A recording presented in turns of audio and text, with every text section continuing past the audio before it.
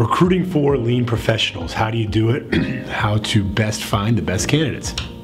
It's all about knowing what you're looking for, uh, knowing what kind of materials, knowing it's going to be plant level, corporate level, working again hands-on on manufacturing floor versus you know the back office processes, knowing what kind of certifications you're looking for, if they have to have a black belt, a green belt, other types of lean certifications.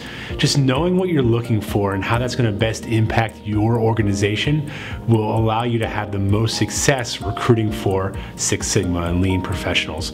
Knowing whether it's going to be a more hands-on true lean role, whether it's going to be a more statistically driven Six Sigma role just knowing how this person and this the lean organization and and the where you're at on the lean journey, how that's going to impact your organization will.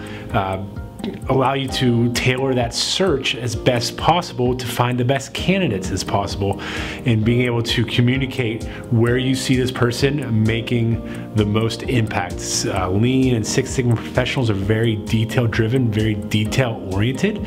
And so being able to communicate with them how their uh, work and how they're going to impact your organization will allow you to retain and get the interest of the top candidates.